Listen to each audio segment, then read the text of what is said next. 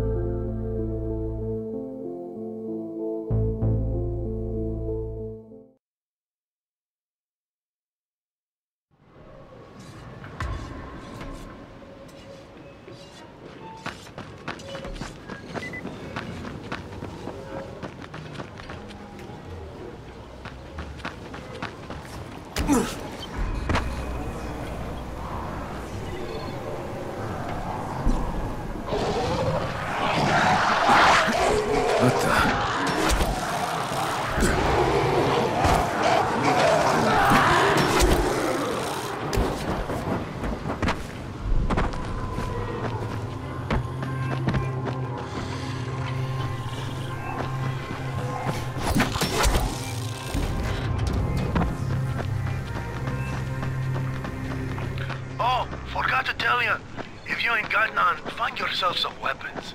The farm's a bandit outpost. Wait, what? You you forgot to tell me this? Well, they weren't important at the moment. Fucking fleas, you just can't get rid of them. No structure, no boss, no knack for business. Sounds like we're off to a good start. Ah, don't be a drama queen. You can handle them. Listen, I gotta deal with some customers. Just give me a sign once you got the car.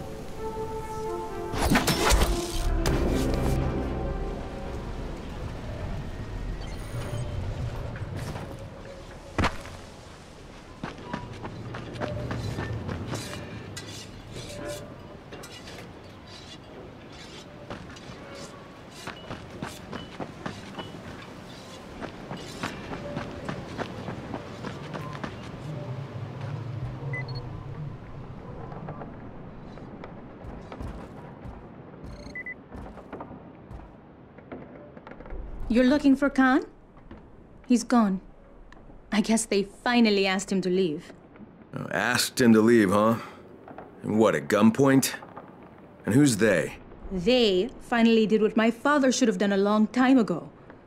And it suddenly got really nice and quiet around here, didn't it? You didn't answer my question. Of course I didn't. You're here for the same reason he was. Same reason the bandits won't leave us alone. And we're supposed to trust you? There's gotta be something I can do to convince you. You don't have to convince me. I don't care. Show everyone else you're here to give, not just to take. And I'm Ezgi, by the way. Kyle Kraneski. Can you give me some hints at least? W what do you guys need? I suppose I could help you out. Just remember, you'll have to return the favor one day. You got it. The groundwaters got polluted a while back. Imagine what would happen if you got our water running again. I assume there is a way to do this? Yes, there is, but it's in bandit territory. Several men who volunteered to go there, well, they never came back. So I wouldn't recommend it, unless you have a death wish. If you do, then just follow the pipeline.